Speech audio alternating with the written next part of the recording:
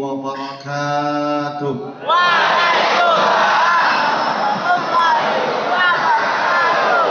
إن الله وترا يحب الوتر. السلام عليكم ورحمة الله وبركاته.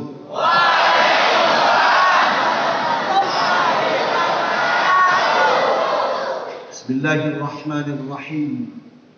وبرضا الله تعالى. وبرضا النبي محمد. الحمد لله رب العالمين وبه نستعين على أمور الدنيا والدين والصلاة والسلام على أشرف الأنبياء والمرسلين وعلى آله وأصحابه أجمعين. أما بعد وقال الله تعالى في القرآن الكريم أعوذ بالله من الشيطان الرجيم. بسم الله الرحمن الرحيم. قالوا سبحانك لا علم لنا إلا ما علمتنا. إنك أنت العليم الحكيم. صدق الله العظيم. Sahabat sahadah pada para kiai, para alim, para ulama, wabil khusus guru kita semuanya, beliau al-mukarram sahibul fadilah Kiai Al-Hajj Imam Sarbini selaku Rais Syuriah pengurus cabang Jamiah Nahdlatul Ulama Kabupaten Oku Selatan dan sekaligus sebagai pengasuh pondok pesantren Al-Falah. Ahin Al-Fadil Al-Karim Bapak Kepala Kantor Kementerian Agama Kabupaten Oku Selatan Ahin Al-Fadil Al-Karim Ketua Gerakan Pemuda Ansor Kabupaten Oku Selatan Ahin Al-Fadil Al-Karim Sahabat dan Erwin Pratama selaku Kasat Korwil Bansar Provinsi Sumatera Selatan Wakasat Korwil Bansar Provinsi Sumatera Selatan. Dan Sandi Kasat Korcap Bansar Kabupaten Oku Selatan. Sahabat-sahabat Bansar santriwati santriwati hadirin sekalian Nahdiyin Nahdiyat yang pada kesempatan malam hari ini sama-sama dimuliakan oleh Allah Subhanahu wa taala. Amin.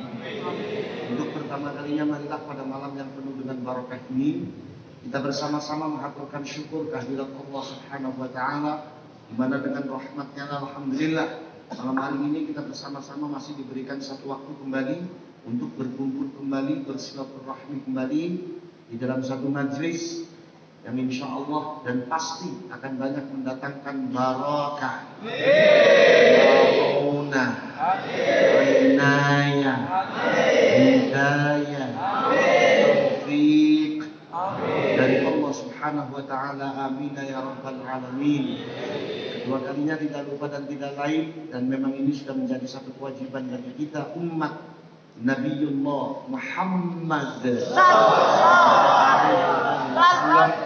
Mari malam hari ini kita bersama-sama mengaturkan sholawat beserta salam kepada beliau di mana beliau ini sudah banyak sekali mencucurkan rahmatnya dari Allah Subhanahu wa taala untuk kita semuanya sehingga sampai pada malam hari ini detik ini jam ini khususnya kita yang hadir di dalam majlis pengajian ini insya Allah masih diberikan ketetapan iman.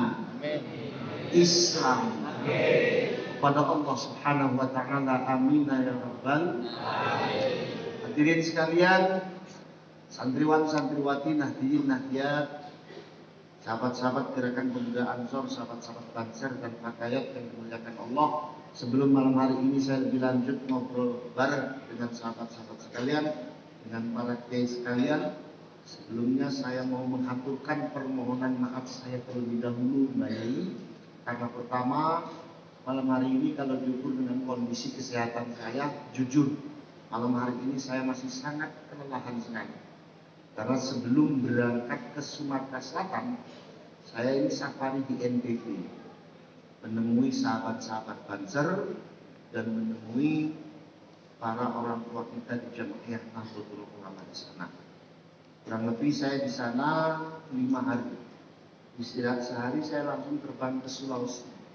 Di Sulawesi sedianya lima hari, tapi sahabat-sahabat Ansor di sana meminta waktu nambah tiga hari. Akhirnya yang harusnya lima hari, saya menjadi delapan hari. Pulang ke rumah, istirahat satu malam, paginya saya langsung berangkat bertolak menuju Sumatera Selatan. Rute pertama kemarin di Muara Enim. Perjalanan dari Muara Enim ke sini, Alhamdulillah. Dan saya berterima kasih kepada dua sahabat saya, tiga sahabat saya, pertama Belakang Erwin, yang kedua dan Sandi dan Mustin yang sudah ngawal saya perjalanan sangat luar biasa. Saya ini memang kalau di Sumatera Selatan menyerahkan seluruh agenda pengajian saya dijadwal oleh dan Erwin dan dan Sandi. Maka saya ini manutnya sama mereka berdua ya. Saya diplak foto gimana pun manut saya sama mereka berdua. Ya pancen potongannya wong itu janju itu nanti. Ini kalau waktu berangkat itu maksa saya. Saya baru bangun tidur, itu dan saya langsung bos segera berangkat. Baju saya sudah dimasukin koper dulu sama dia. Nah, ini panjang janji ini nanti. Nah kemarin saya, alhamdulillah, sampai di pondok pesantren Rodotus Kudus Ulum. Terima kasih Gus sudah nampung saya. Saya diberikan tempat istirahat yang sangat luar biasa hawanya dingin sehingga saya tidurnya sangat nyenyak sekali. Saya ini di Cirebon, Cirebon itu pesisir pak. Panasnya namun dibilang dari. Jadi kalau umpama ada neraka jahanam, ya mungkin Cirebon itu sampingnya lah. Saking panasnya. Ketika sampai di sini, udaranya sangat luar biasa. Saya diberikan tempat istirahat oleh Gus luar biasa dan saya tidurnya sangat nyenyak sekali. Kemarin saya diajak sama ketua Ansor untuk mandi di air panas di dekat danau karena Alhamdulillah enak sekalian ngobatin gatal-gatal gitu kan. Jadi perjalanan saya ke sini sangat luar biasa. Maka dari itu sahabat-sahabat sekalian, hadirin sekalian, mungkin malam hari ini karena memang waktu sudah, sudah sangat malam, kasihan sama Korup ini karena beliau ini sudah sepuh-sepuh. Kalau saya masih muda, tulang saya ini masih kuat nahan dingin. Dan saya bangsa. Jadi kalau saya umpamanya kelihatan lemah di depan Hadrotus Sek RW pertama ini gengsi saya saya saya ini harus kelihatan lebih perfect di hadapan mereka. Jadi biarpun badan saya nggak enak begini saya katakan kepada mereka saya ini sehat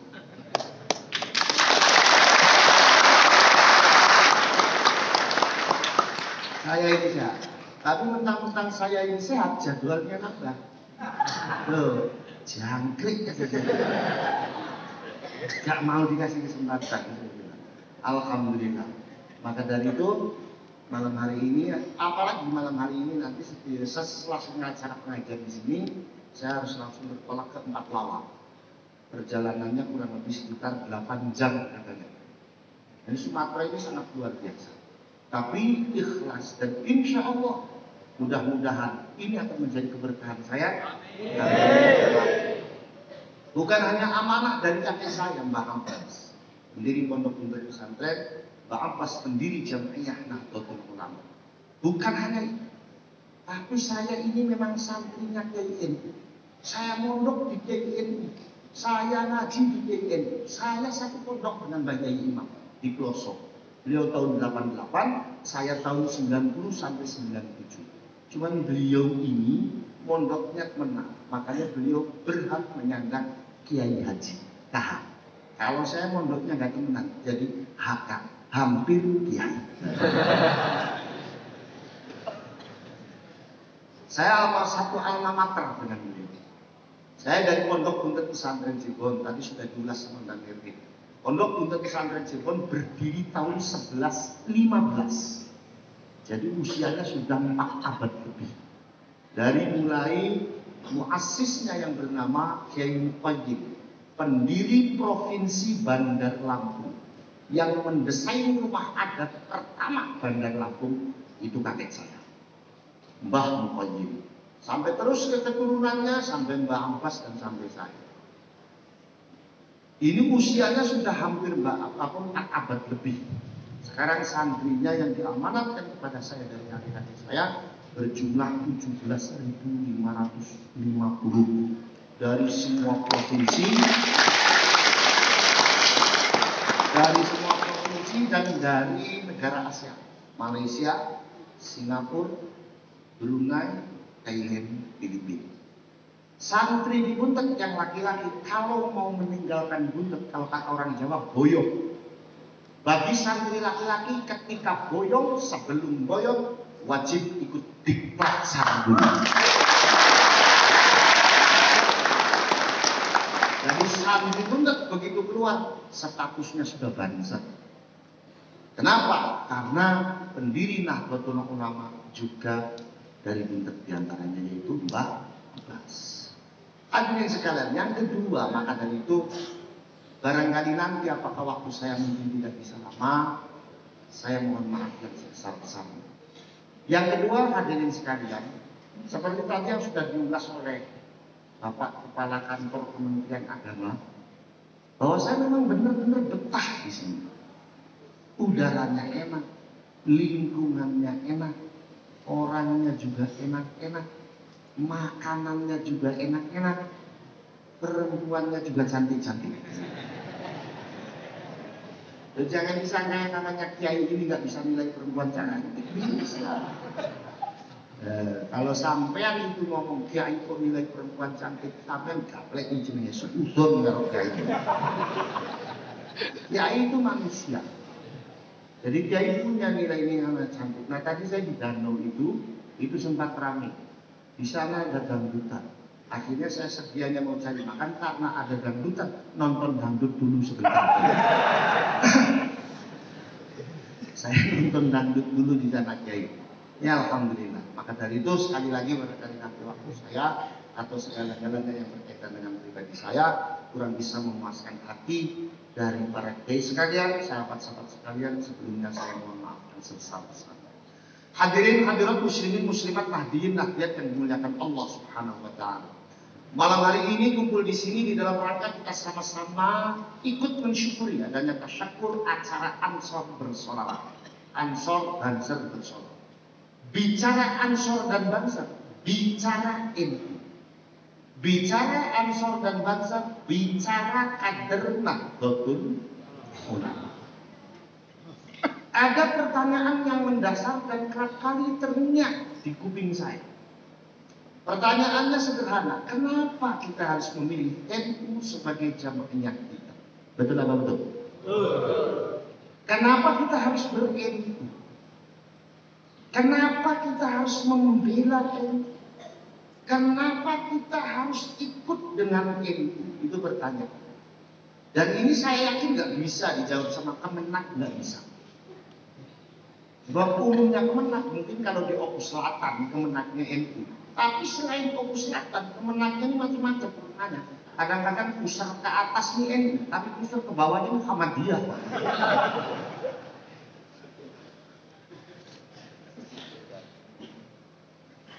Kenapa kita harus ke Jawaban yang paling luar biasa dijawab oleh para ulama kita. Pertama, dengan kita ikut NU maka sangat keilmuan kita tidak munkotin. Tidak terputus. Karena guru-guru kita, masyayikh kita, muassis Nahdlatul Ulama sangat keilmuannya jelas. Jaminannya mana? Jaminannya adalah ucapan dari Hadratus Syekh Mbah Hasim Asy'ari yang mengatakan bahwasannya sapa ae wong sing nguri-nguri NU maka bakal tak aku dadi santriku lan wong sing tak aku dadi santriku tak dongakne mati nek husnul khotimah sagriwa sampean gak percaya mati yo sing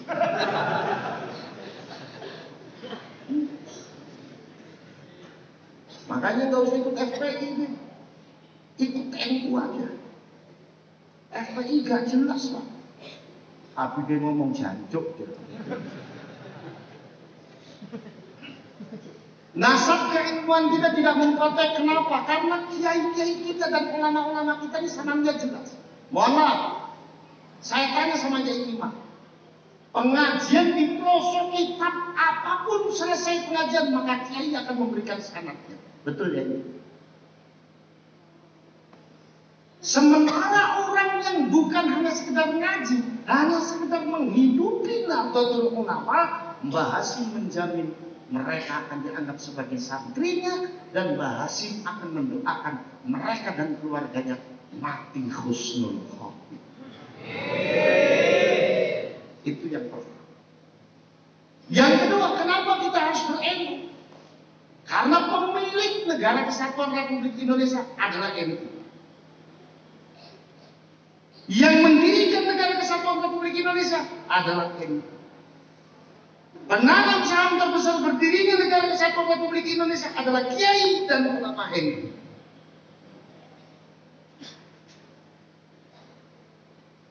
Yang memerdekakan negara kesatuan Republik Indonesia adalah kiai dan ulama NU. Dan saya ngomong begini, bukan omong-omong, tapi bukti dan catatan sejarahnya ada. Setidaknya ada dua sejarah yang membuktikan bahwa Kiai dan ulama NU pendiri negara ini.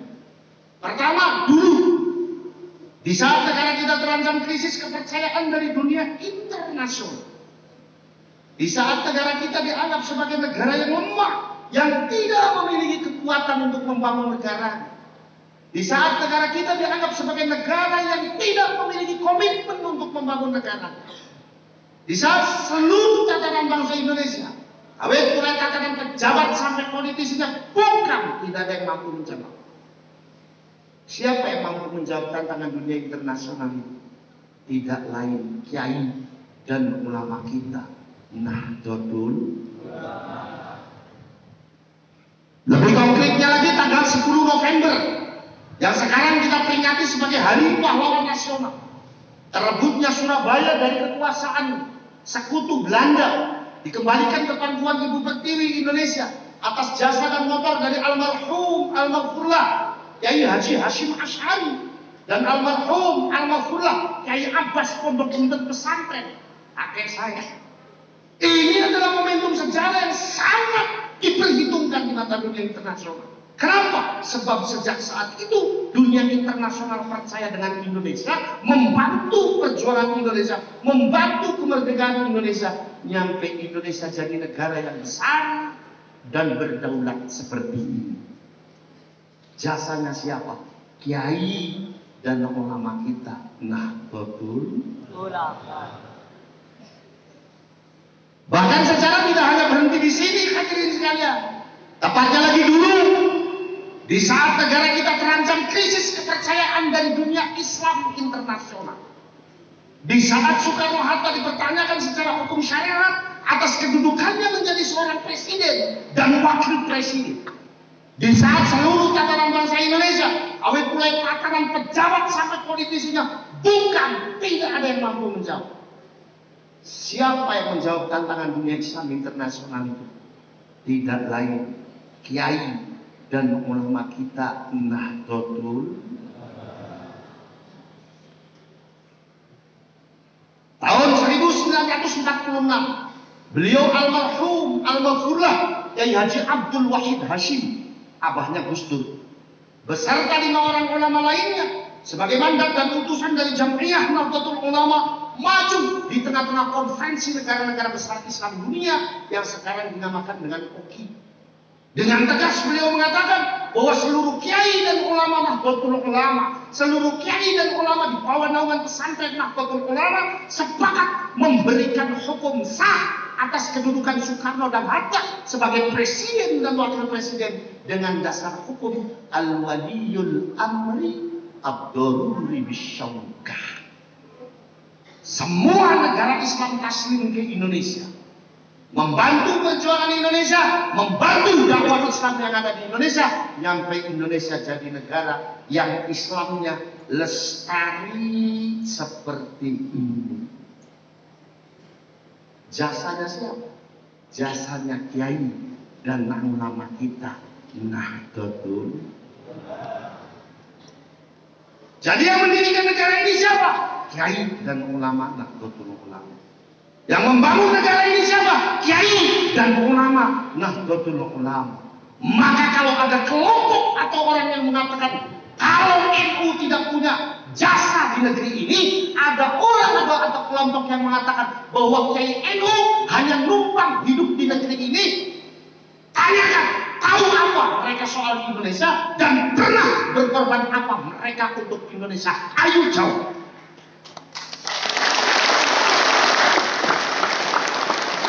Kalau bisa jawab, gebukin rame-rame. Setuju?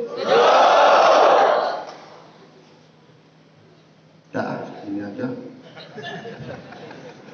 Terus apa terus? Terus apa terus? Enak aja rasus-rasus ongkos aja menjelas. Malam ini panitia judulnya adil. Yang dikasih air minum bukan cuma yang. Saya juga dikasih air minum. Hmm. Sama yang di situ. Cuma gimana panitia pengajian sama judulnya kayak mesti airku. Eh, padahal saya juga doyan air jeruk doyan saya. Itu minuman segitu di Cirebon ini dua ribu kere. Ini lima ribu. Ini lima ribu. Sepuluh ribu tambah dua ribu. Berarti dua belas ribu. Ya saya mah gampang aja. Ntar kalau pulang amplopnya kurang dua belas ribu. Berarti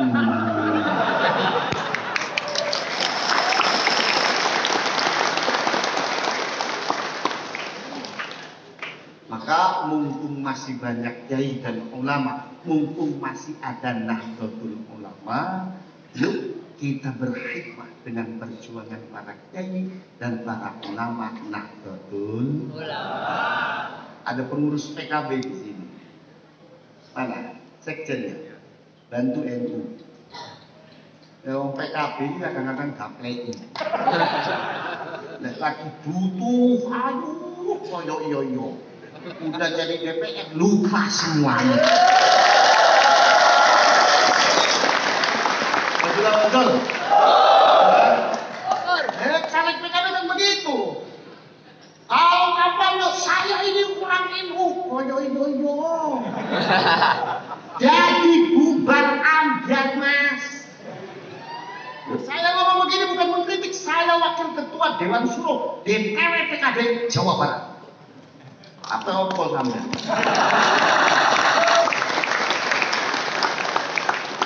objektif kalau saya ngomong. Jangan begitu mas sampean mas. Sampean nyalek ngomongnya kul lali gretek kumae. Gak ono wonge obongan kumae. Tau manget donya NU tapi ngomongnya NU NU gak nyumbang karo NU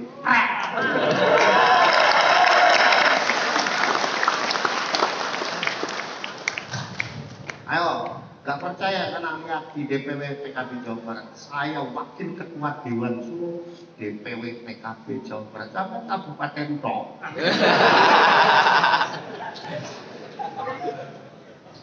betul apa betul? Betul. Sementara tantangan kita di hari ini, sahabat-sahabat sekalian, banyak munculnya kelompok-kelompok yang mencoba menafikan Nahdlatul Ulama. Banyak kelompok-kelompok yang menafikan Indonesia, yang menginginkan Indonesia bubar, yang menginginkan Nahdlatul Ulama bubar dengan berbagai macam jargonnya. Ada yang ngomong kalau Indonesia negara tauhid, betul apa betul? Indonesia negara yang tidak berdasarkan hukum Islam, Indonesia negara yang tidak Islam. Mereka yang mengatakan begini karena mereka tidak pernah tahu sejarah berdirinya Indonesia dan mereka yang tidak tahu apa Nahdlatul Ulama, bagaimana Nahdlatul Ulama berjuang untuk negeri ini. Kalau dia tahu mestinya dia harus flashback ke sejarah bahwa negara ini diakui atau tidak dibangun dan dibuat oleh kiai dan ulama Nahdlatul Ulama. Kalau kiai dan ulama Nahdlatul Ulama yang membangun negara kesatuan Republik Indonesia ini, saya tanya, mungkin tidak kiai dan ulama kita lepas dari hukumnya Allah? Mungkin tidak? Mungkin tidak? Tidak mungkin.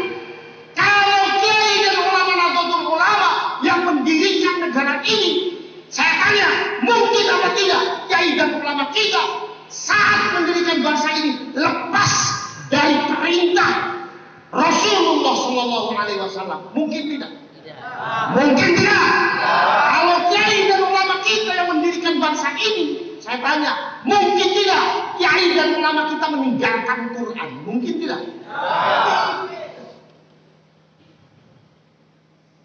Kiai dan ulama yang mendirikan negara kesatuan Republik Indonesia sudah sesuai dengan syariat Islam.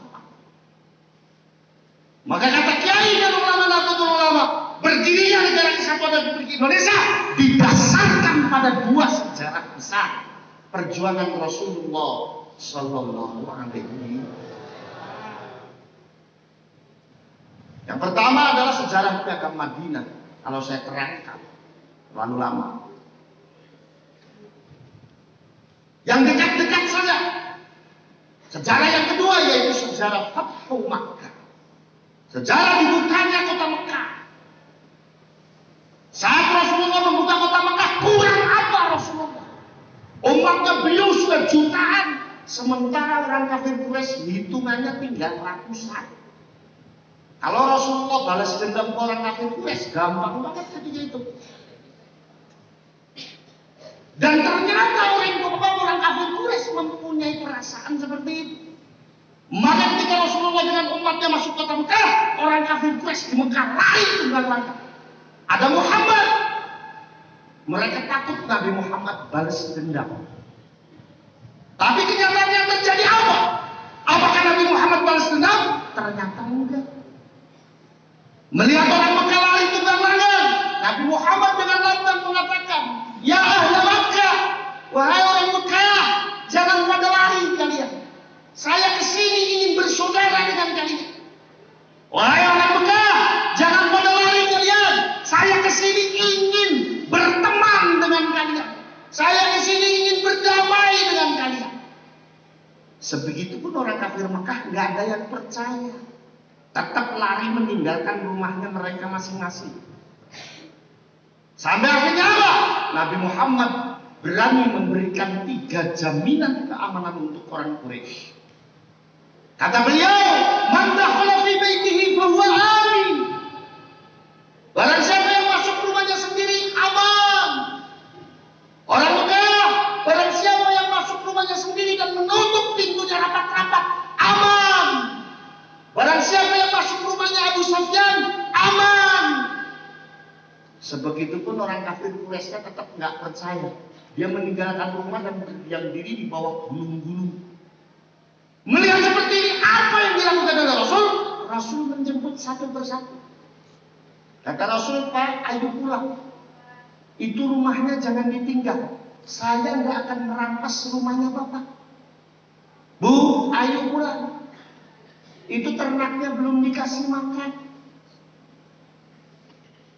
Rasul menjemput mereka satu persatu sehingga akhirnya mereka percaya dengan kebaikan akhlak Rasulullah Sallallahu Dengan kebaikan akhlak Rasulullah seperti itulah maka akhirnya orang Mekah dan Madinah sepakat aklamasi mengangkat beliau menjadi kepala negara.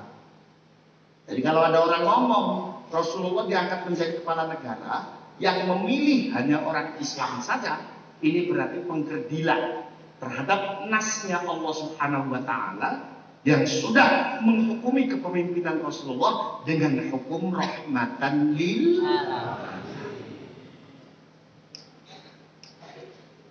Jadi yang memilih Rasulullah menjadi kepala negara bukan hanya orang Islam, walaupun ketika itu mayoritasnya orang Islam. Tapi kenyataannya di Mekah dan Madinah masih banyak orang Nasrani. Di Mekah dan Madinah masih banyak orang Yahudi. Di Mekah dan Madinah masih banyak orang Majusi. Dan Rasul sadar betul bahwa yang memilih beliau menjadi kepala negara bukan hanya orang Islam. Lalu apa yang dilakukan oleh Rasul? Beliau menghadap Allah Subhanahu wa taala.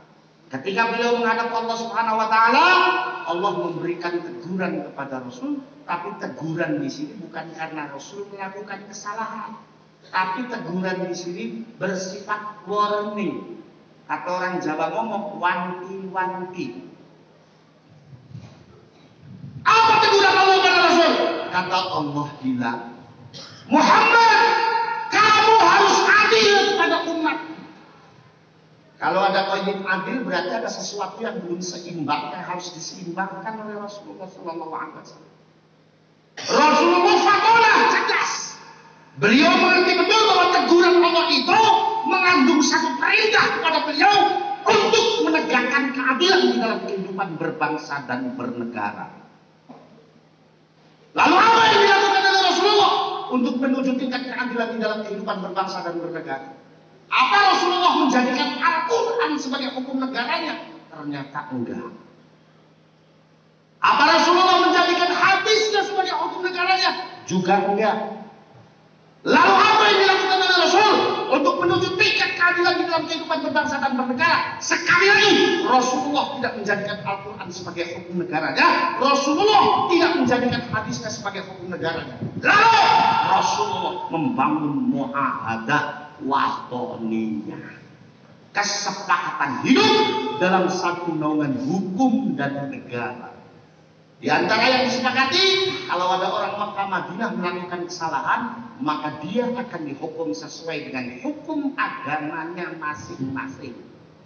Maka mohon maaf, ketika Rasulullah menyaksi orang Nasrani yang apa kedapatan mencuri dan barang curiannya lebih dengan dari satu nisab, dengan cara memotong tangannya.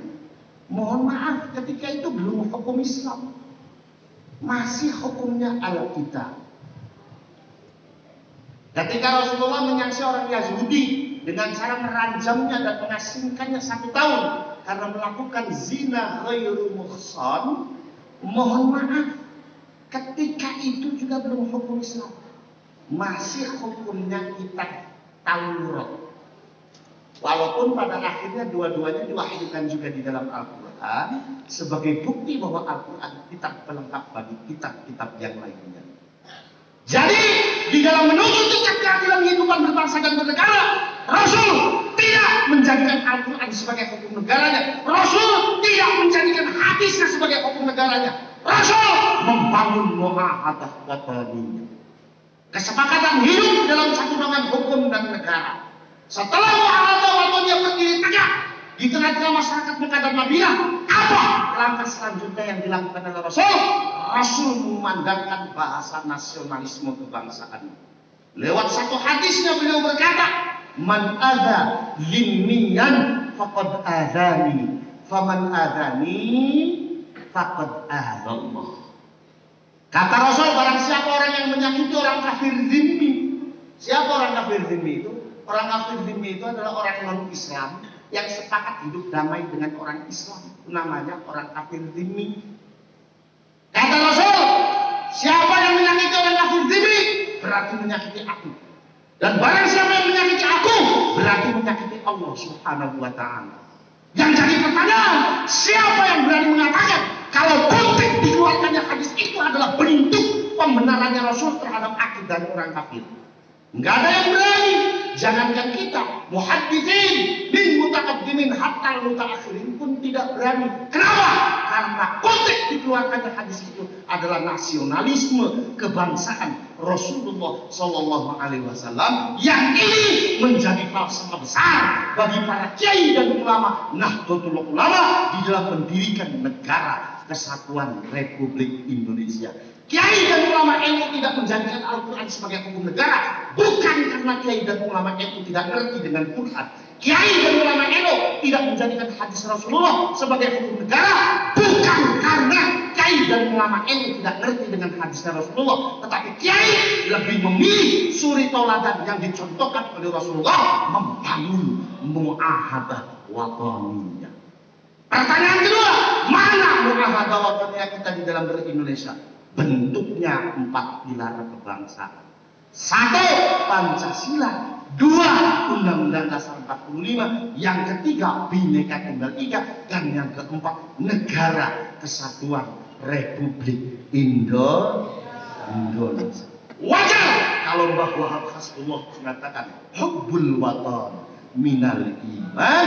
Mbah Abbas Pondok untuk Pesantren mengatakan hubbul Indonesia minal ibadah. Cinta dengan keberagaman suku yang ada di Indonesia, kata Mbah Abbas adalah ibadah. Cinta dengan keseluruhan ras yang ada di Indonesia, cinta itu adalah ibadah. Cinta dengan keberagaman budaya yang ada di Indonesia, kata Mbak Abbas itu ibadah. Cinta dengan semua suku yang ada di Indonesia, itu adalah ibadah. Maka kalau ada kelompok yang menginginkan Indonesia berganti menjadi negara Islam, tanyakan sama mereka, Islam ala siapa? Kalau mereka menjawab Islam ala Rasulullah, tolak oleh kita bukan Islam ala Rasulullah, tapi Islam ala bulan.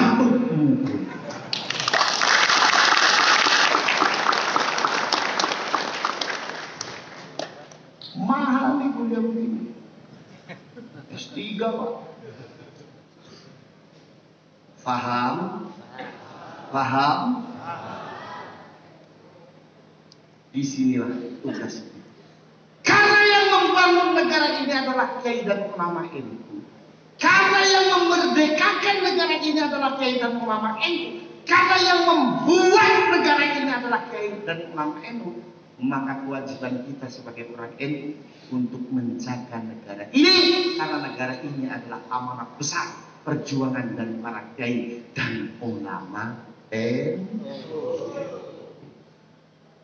Bansar berada di garda paling depan. Ansor berada di garda paling depan.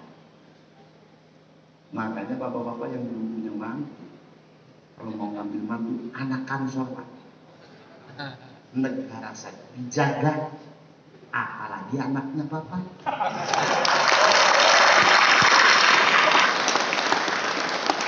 Betul betul? Betul betul? Sebegitu besarnya amanah tersebut yang ada pada diri kita ketika kita beristiqomah. Hikmah dengan perjuangan kiai dan ulama NU balasannya sorga menanti kita. Amin. Maulana Al-Habib Lutfi bin Yahya Kalongan beliau mengatakan saya tidak mau masuk surga lebih dulu sebelum bangsa dan ansor masuk terlebih dulu.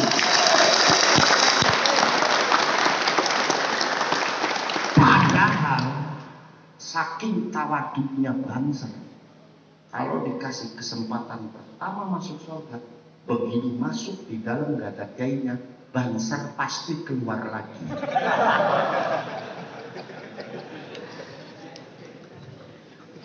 Betul betul. Makanya yang punya pemuda suruh ikut gabung ke gerakan pemuda. Itulah kenapa kita mengatakan NKRI harga prinsip dan itu syar'i.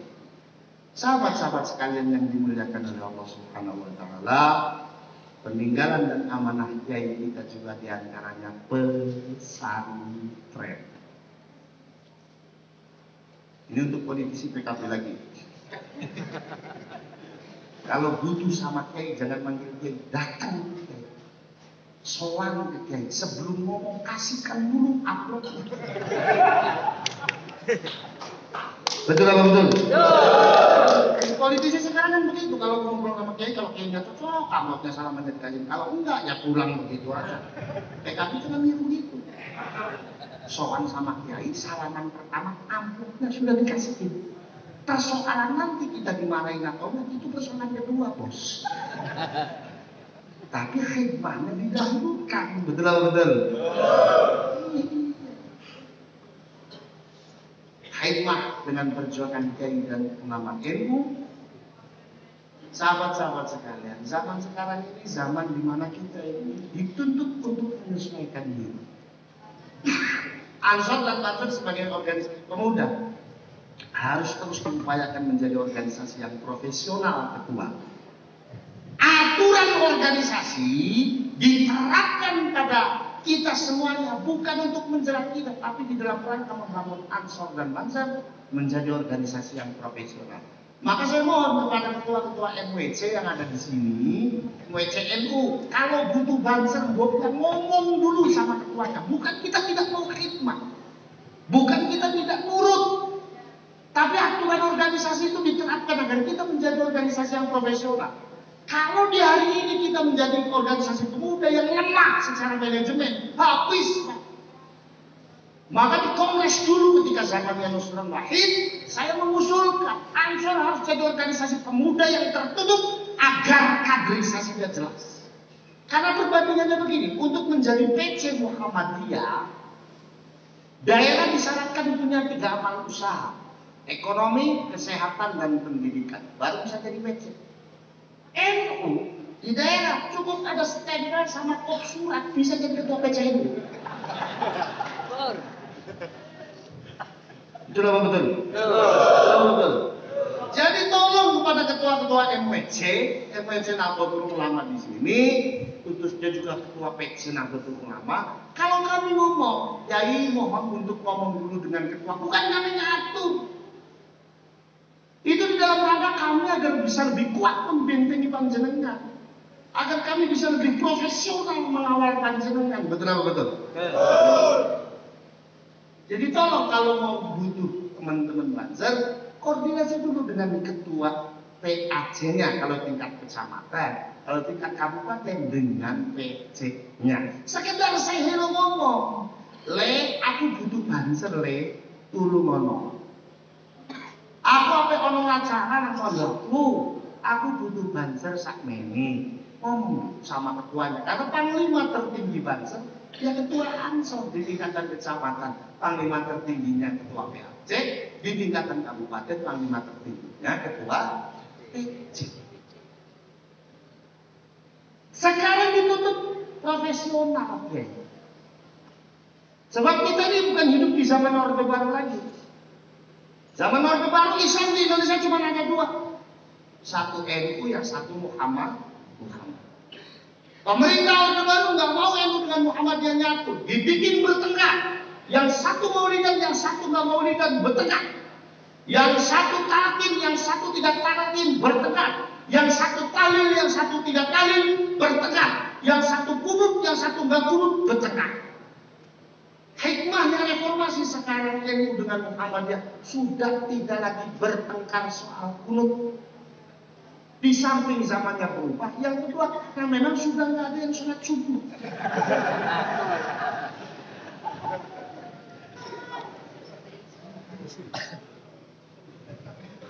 Profesional. Tantangan kita ke depan akan lebih dan jauh lebih berat. Maka dari itu, sahabat-sahabat sekalian, ayo tempat diri kita untuk menjadi pemuda yang berkualitas melalui ansor kita bangun pribadi kita. Ketua kita sudah sangat luar biasa. Tadi bisik-bisik. Dia minta amal. Gus ijazah saya amal. Amalan apa? Nanti tak WA. Begitu saya buka WA, tulisannya MHBBH. Mahabbah.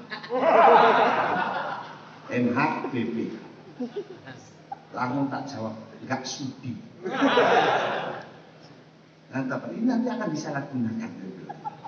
akan disalahgunakan. Saya bilang enggak mau betul. Sudah sebagai ansor itu peletnya sudah nempel sendiri.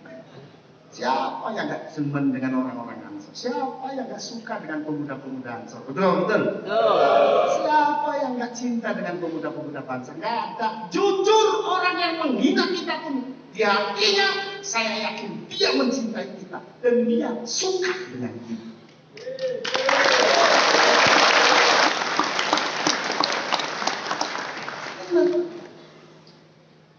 Maka hadirin sekalian, sahabat-sahabat sekalian, kita harus jadi pemuda yang kritis tanpa harus meninggalkan sami'na wa ata'na. Kita kepada para kiai dan para ulama.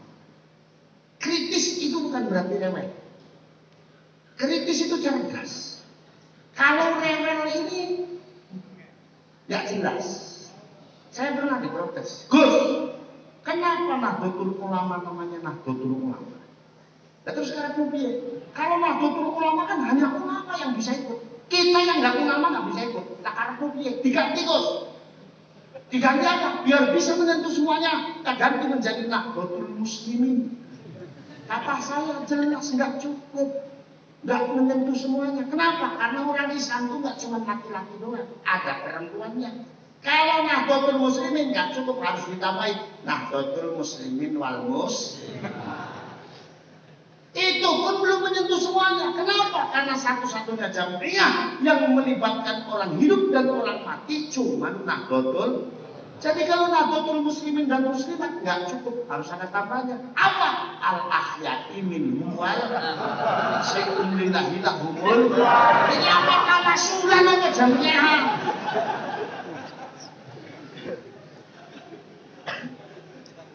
Betul, betul. Bukan sertas itu namanya. Itu namanya. Kita harus jadi pemuda yang kritis. Harus tahu perkembangan zaman. Apa? Dan di hari ini Indonesia butuh Itulah yang kita isi.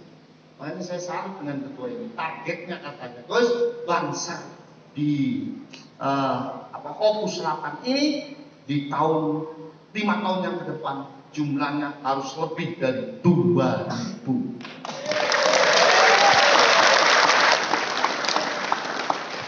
Hebat. Keren ketua kita. Doain makanya mudah-mudahan Pak Ketua umurnya panjang. Amin. Sampai hari kiamat.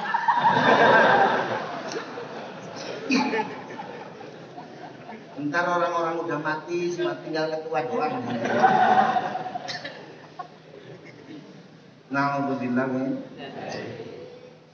Tantangan kita yang kedua, adanya kelompok-kelompok di luar Indonesia yang benar-benar menargetkan Nahdlatul Ulama hancur. Sebab dalam konteks perusakan apa perusakan Islam di Indonesia, mereka mengatakan yang harus dirusak NU dulu. Dalam konteks perusakan negara kesatuan Republik Indonesia, konteks perusakan Islam di Indonesia, mereka bilang yang harus dirusak NU dulu. Yang harus dihancurkan NU dulu. Untuk menghancurkan Indonesia, yang pertama NU. Kalau NU hancur, maka Islam di Indonesia dengan sendirinya akan hancur. Mereka tahu basisnya NU satu pesantren, dua madrasah, tiga majelis taklim. Pimpinannya siapa namanya? Kiai dan ulama. Maka kata mereka, untuk melanjutkan Islam di Indonesia, pertama yang harus dihancurkan NU. Untuk melanjutkan NU, caranya satu, jauhkan masyarakat dan kiai dan ulama. Jauhkan masyarakat dari pesantren NU-nya. Jauhkan masyarakat dari majelis taklim NU-nya. Jauhkan masyarakat dari madrasah NU-nya. Biar apa? Biar masyarakat di Indonesia tidak kenal dengan Nahdlatul Ulamanya, bodoh, goblok dengan agamanya, tidak terbina oleh kiai dan ulamanya. Kalau sudah begitu gampang dibelokkannya.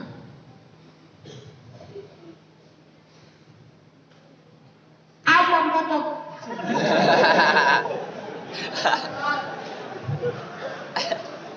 Gak usah ngotot, wah biasa aja. Ya maklumin pas saya kalau ngaji belum dikasih makan begini.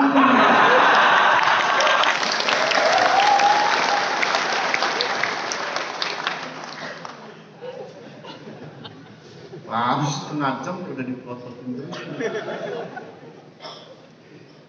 Kalau masyarakat itu sudah jauh dari kaidah ulama NU-nya, jauh dari pesantren NU-nya, jauh dari madrasah NU-nya, jauh dari majlis taklim NU-nya, tidak terbina oleh kaidah ulama NU-nya, masuk cara yang kedua. Apa?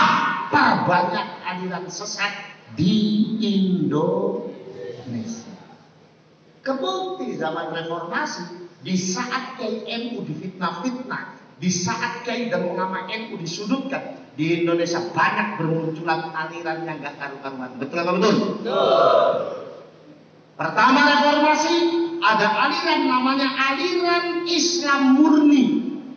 Yang kalau sholat isya 30 laki-laki, 30 perempuan. Sholat selesai listrik dimatiin, nubruk sedapat-dapatnya.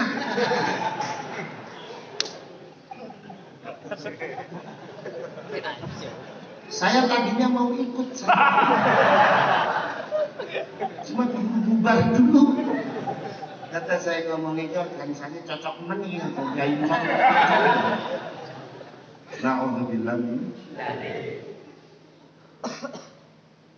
Pertengahan reformasi ada lagi aliran. Namanya aliran Islam Jasun Jawa Sunda Pusatnya di Losari Brebes Nabi jenenge Tukimin Tukimin tukang bakso aku jadi nah nabi jenenge tuh kata saya ngomong masa nabi jenenge tukimin yo gak enak. Terutama di solawatannya lah yang mau? Karena bikin ringir bono masuk Gus Ulum selalu ala tukimin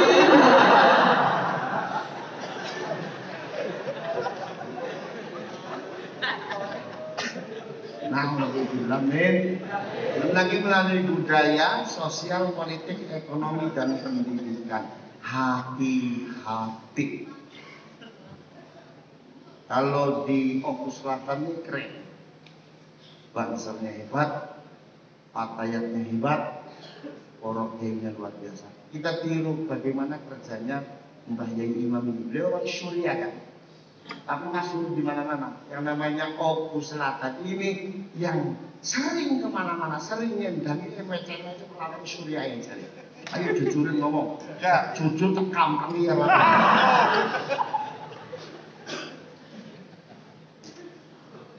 Betul, betul. Harusnya nggak begitu, Pak. Harusnya nggak begitu. Harusnya Roy Surya itu di rumah istirahat, membina santri. Sebab Roy Surya itu posisinya adalah sebagai kaitan itu. Kiai itu kalau di ilmu tak kemenang, macamnya gampang.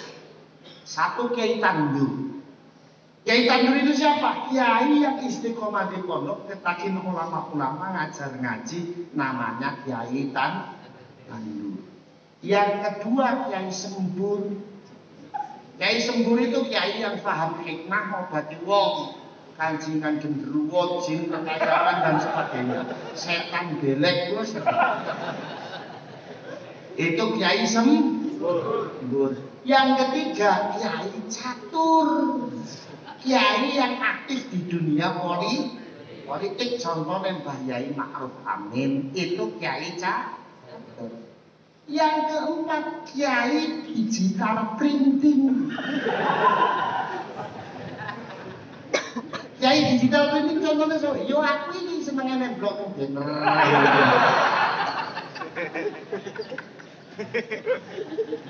Nah ini, ya, tapi bagi yang yang pun digital printing, ya kiai. Begini oke. Nah, itulah sah. Cukup-cukup di Indonesia banyak orang mengaku jadi nabi. Gini loh betul. Sampai janggal nggak dengan fenomena ini? Ternyata setelah diteliti dan diriset, ternyata yang membiayai, sengaja dirusak yang paling terkenal namanya Ahmad Musodik. Pelatih bulu tangkis. Ngaku jadi wahyu oleh wahyu sing Bogor. Berarti hebatan dan Erwin sama Musodik. Musodik nang Bogor oli wahyu dan Erwin oli bojo.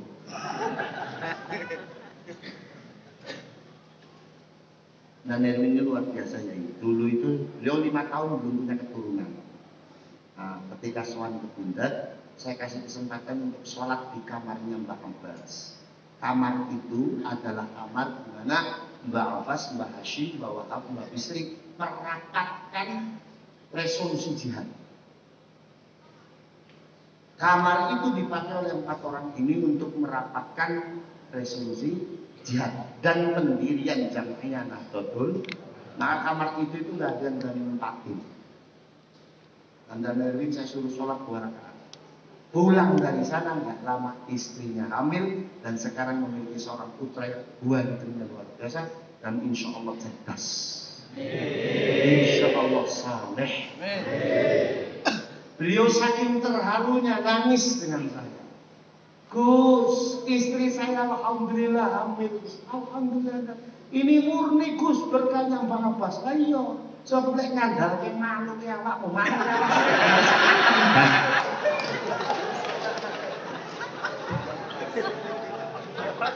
Nah iya mesti ini berkahnya Mbak Abbas. Kan ngandal ke malu, malu itu gede sekaten bak. Bak itu kan ndase.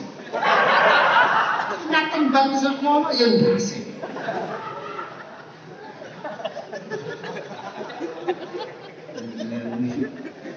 Alhamdulillah. Beliau punya anak maka beliau tabarukan dinamakan dengan Muhammad Abbas Nasaib. Anaknya cerdas, anaknya aktif, luar biasa. Kulitnya putih. Gak perlu apa Lek, dan ini bukan hitam, bukan. Gelap.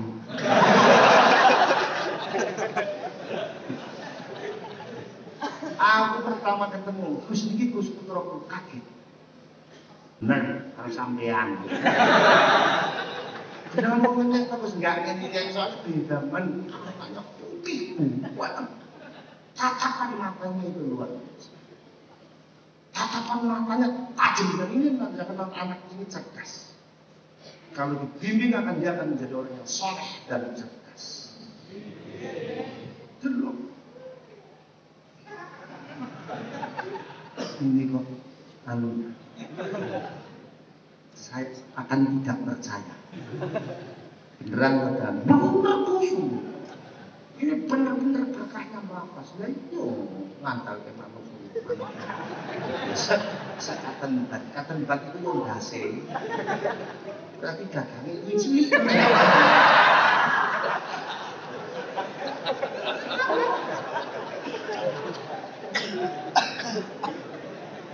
Sahabat-sahabat sekalian menggunakan Allah. Mohon maaf, mohon maaf, mohon maaf, mohon maaf. Sama Yai saya mohon maaf. Sekarang apa fenomena yang lagi ada di Indonesia? Tentang zuriyahnya Rasul. Siapa yang nggak percaya kalau mau asisten zuriyahnya Rasulullah semua? Nah cuma semua muasis Nahdlatul Ulama zuriyahnya Rasulullah Sallallahu Alaihi dari mulai Mbah Hashim bahwa Mbak Bisri, Mbak Abbas, semuanya zuriat.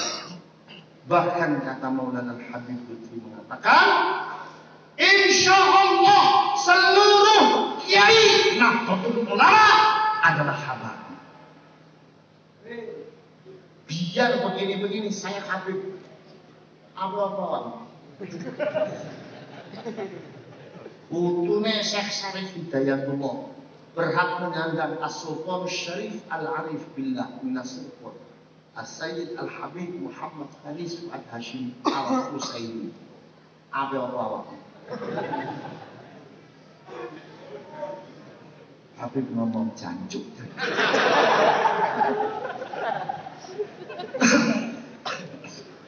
kita diajarkan oleh kiai dan ulama kita untuk hormat kepada zuriyahnya Rasul. Bagi orang itu dari dulu.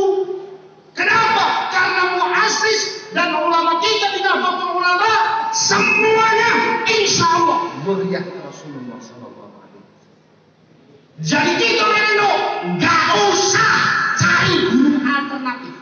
Kiaimu, ulamamu itu jauh lebih bertanggung jawab dunia dan akhiratnya kepada kita daripada mereka yang cuma hanya bisa memfitnah mereka yang hanya bisa menjual agama hanya untuk kepentingannya diri sendiri oh Sok, beber-beberan apa? Saya meriset ini dua tahun lebih. Sampai ke Aceh. Jadi kalau mereka jawab NU itu nggak ada habib. Apa NU itu kiai NU itu bukan habib. Suruh datang ke saya. Sebelum ngomong tak kaprek dulu sama saya. Banyak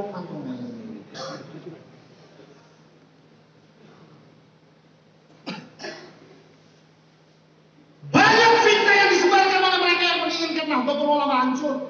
Sampai hal-hal yang tidak prinsip dijadikan masalah. Dari dulu yang namanya tahlil nggak tahlil sudah ada di Indonesia. Betul apa betul? NU nggak tahlil, Muhammadiyah, eh NU tahlil, Muhammadiyah enggak tahlil. Sudah ada damai-damai saja itu sama Indonesia. Damai-damai saja itu sama apa itu sama Muhammadiyah. Sekarang dipertajam tujuannya menghancurkan itu. Dari dulu yang namanya NU dengan Muhammadiyah banyak beda pendapat tapi tidak saling mengkafirkan. Sekarang sudah mengkafirkan. Yang jadi kaget siapa? Orang NU. Maka yang dikafir-kafirkan Kiai NU, yang dibid'ah-bid'ahkan ibadahnya orang NU. Orang NU yang senangnya tahlilan, betul apa betul? Orang NU yang senangnya rajaban. Orang NU yang senang memudukan. Orang NU yang senangnya dengan kiai dan ulama. Orang NU yang cinta dengan NKRI dikafir-kafirkan. Ibadahnya dibid'ah-bid'ahkan. Katanya apa tahlilan?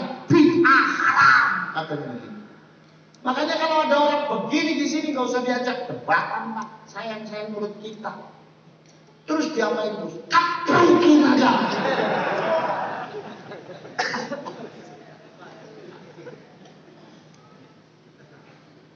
Apa?